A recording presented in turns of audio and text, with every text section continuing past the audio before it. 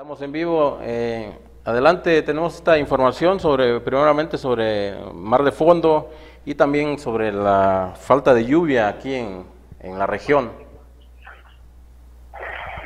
Sí, efectivamente, Servando, muy buenas tardes noche allá en el estudio, muy buenas tardes noche a todo el amable auditorio allá en la región de Texas, es más, hasta donde se presenta la señal de esta transmisión. Bueno, efectivamente, y lo habíamos mencionado, en la perspectiva climatológica estacional, que para esta temporada tendríamos un déficit en la potencia de precipitaciones. Esto favorecido por los sistemas de alta presión que predominan no nada más en el territorio nacional, sino buena parte del hemisferio norte.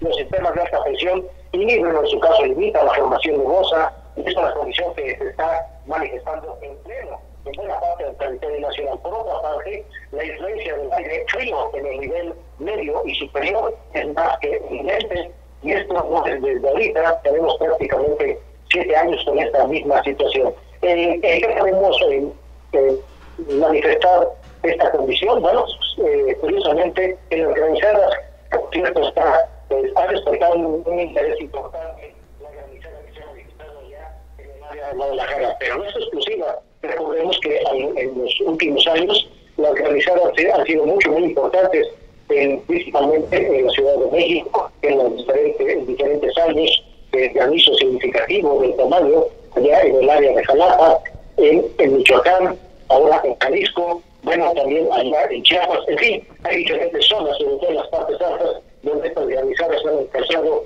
un acumulado considerable. Esto producto justamente de esta manifestación de los sistemas de alta presión y del aire frío en el nivel medio y superior.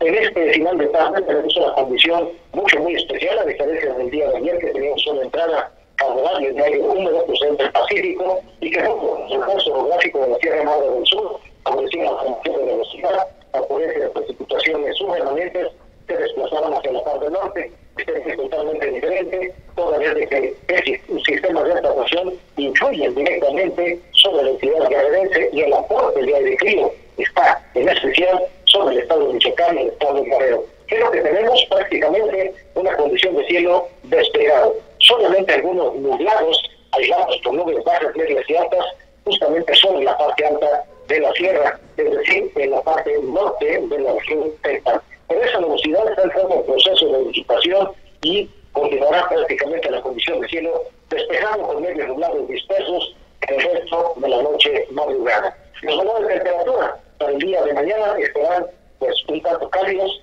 de 32 a 34 grados con una elevada sensación de calor de parte debido a la acción de los rayos solares a la región ultravioleta, parte de la región solar, ya que estamos en pleno verano, los rayos solares llegan concentrados en la superficie terrestre y esto incrementa la sensación de calor. Por otro lado, la poca humedad del ambiente eh, pues permite que los rayos ultravioleta pasen directamente el vapor de agua, es el principal gas que absorbe la acción ultravioleta. Al estar disminuido, por supuesto que estos, llegan, estos rayos llegan directamente a la superficie, incrementando esta condición bastante cálida. El viento estará de invariable durante la mañana, será de componente sur, variando al suroeste por la tarde, con una intensidad promedio de 15 a 20 kilómetros por hora, hasta el final del día, en la condición que incluso tenemos este final de tarde. Y en relación a el mar de fondo, debo comentarles que es propio de la temporada se agite y tengamos un incremento del oleaje en, en, aguas interiores y también en la zona de playas. Eh, ese comentario, la exportación de la actividad marina, toda vez que no se prevén eh, nubes de tormenta a diferencia de otros días, pero habrá que tener, tener mucha precaución. El agua marina estará pues, agitada y en las marejadas en la zona de playa serán ligeras, ocasionalmente moderadas. Recuerden, habrá que tratar esta condición con una situación de prevención. No olvidemos que es el Océano Pacífico, el más grande del planeta, y se va. Así capitán, también lo que se acerca ya es el fenómeno de la canícula ya en próximos días también.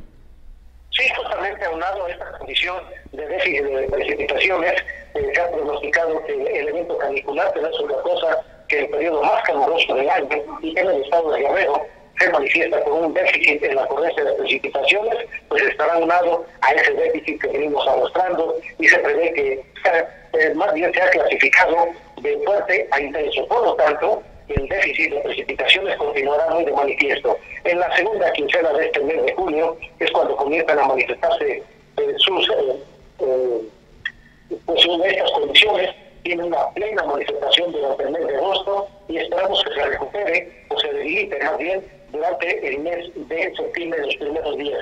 Justamente en el mes de septiembre, cuando esperamos los mayores acumulados de precipitaciones, es decir, tendremos un repunte significativo y será hasta los primeros 15 días del mes de octubre. Posteriormente, las precipitaciones irán disminuyendo hasta el principio del mes de diciembre. Esto es lo que se ha previsto en la Comisión Climatológica para el Estado de Guerrero. Pues bien, muchas gracias, capitán Roel Ayala Mata, y vamos a estar en contacto. Gracias por, comunicación. Vamos a estar en contacto para que nos mantenga informados aquí en la Costa Grande.